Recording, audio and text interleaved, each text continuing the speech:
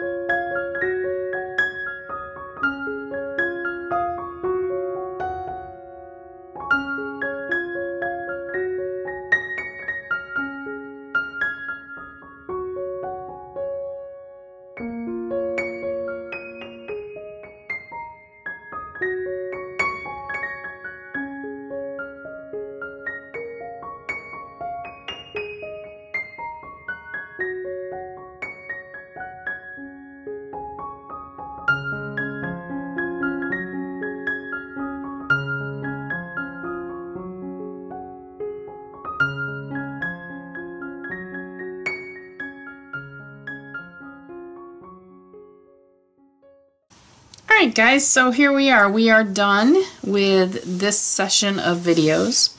Um, let's go ahead. We'll start out with this one.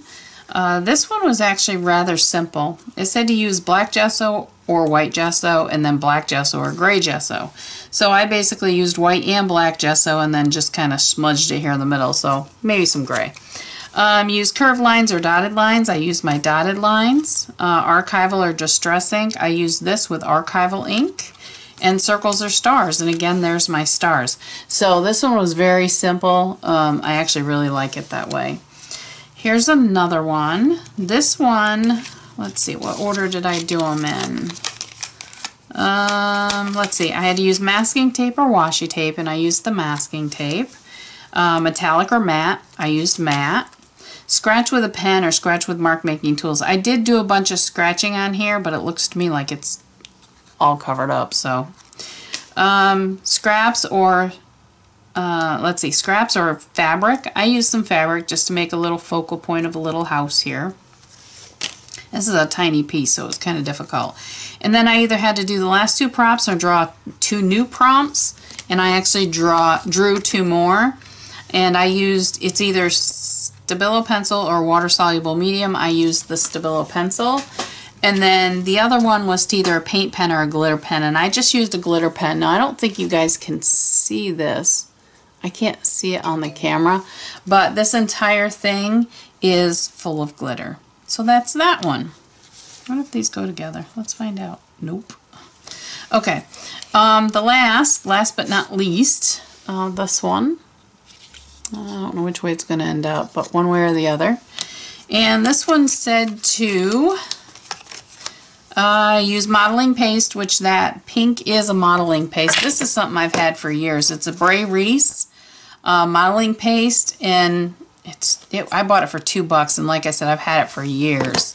So I use that uh, doodle at the top and the bottom. So I did my triangles. So when I doodled I used triangles. So those two kind of went together outline with dots or something with lines I just did my little triangles with dots and then use buttons or bling and I use buttons and bling so there we go I hope you guys have enjoyed this. If you have any questions, please let me know. And I really hope that somebody's playing along and this is going to be fabulous to put this puzzle together in the end. All right, guys, take care and we'll chat with you soon. Bye-bye.